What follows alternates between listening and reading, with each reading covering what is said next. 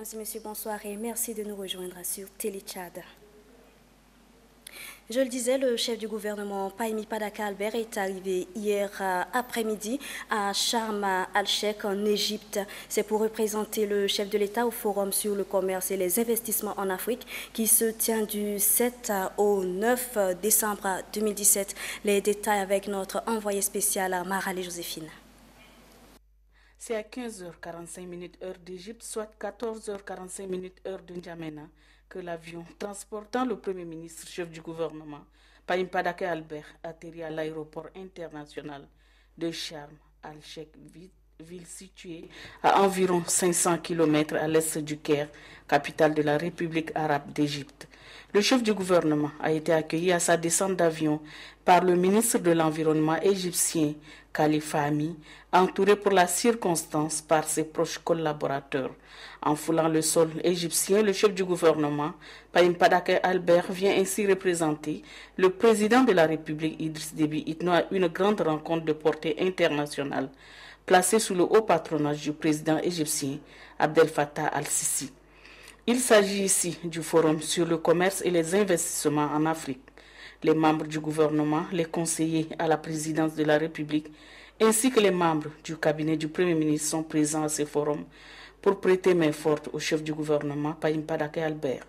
Compte tenu de l'importance du thème pour notre pays, le chef du gouvernement a tenu à assister à la conférence de presse consacrée ce jour à la jeunesse.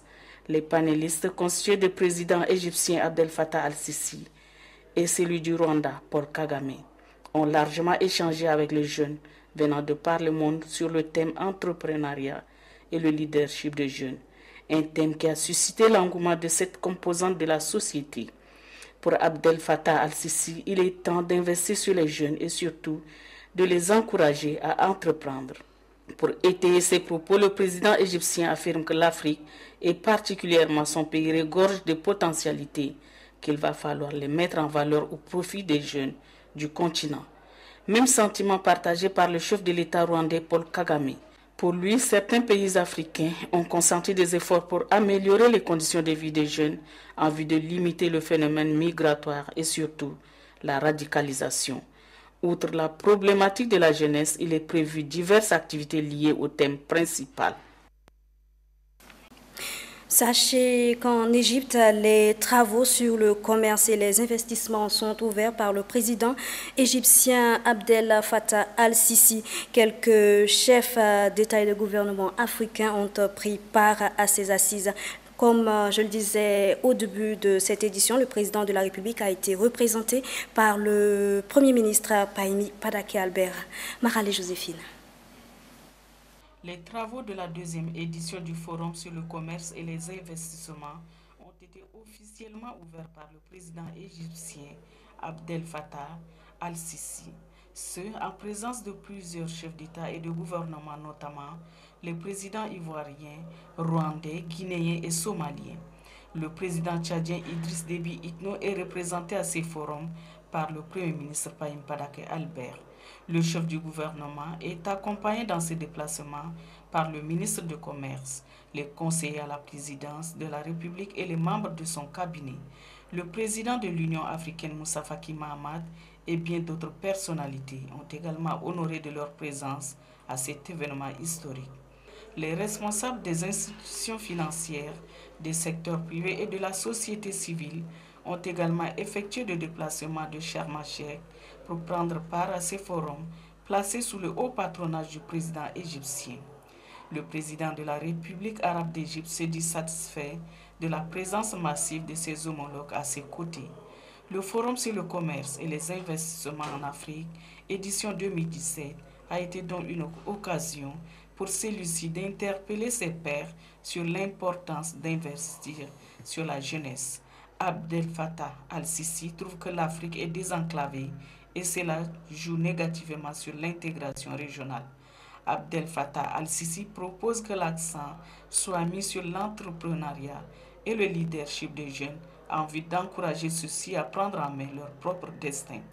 Pour lui, un plan global doit être mis sur pied pour renforcer la coopération et aussi bien attirer les investisseurs nationaux et internationaux. Le président guinéen Alpha Condé, par ailleurs, président de l'Union africaine, demande aux investisseurs nationaux de privilégier leur continent afin de gagner la confiance de la jeunesse.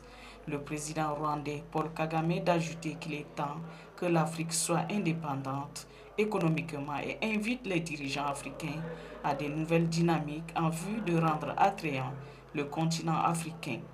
Le président ivoirien Alassane Draman Ouattara, quant à lui, estime qu'investir dans l'éducation, les nouvelles technologies de l'information et de la communication, les infrastructures, la santé et bien d'autres permettra à notre continent de soigner son image. Alassane Draman Ouattara de poursuivre que l'Afrique est un continent riche, car renchérit-il, elle regorge des potentialités qui ne sont pas valorisées comme il se doit. Moussa Faki Mahamat, en tant que président de la Commission de l'Union africaine et engagé pour la cause de la jeunesse, a abordé dans le même sens que ses prédécesseurs. Pour lui, des actions concrètes doivent être orientées vers ces groupes vulnérables une Afrique forte et prospère. Sachez que le chef du gouvernement, Paimi Padake Albert Ami, a profité son séjour en Égypte. Il a reçu le ministre égyptien de la Santé, Amata Amadadine Hadi. Marale Joséphine. Le secteur de la santé fait partie des priorités des plus hautes autorités tchadiennes au même titre que celui du commerce et des investissements.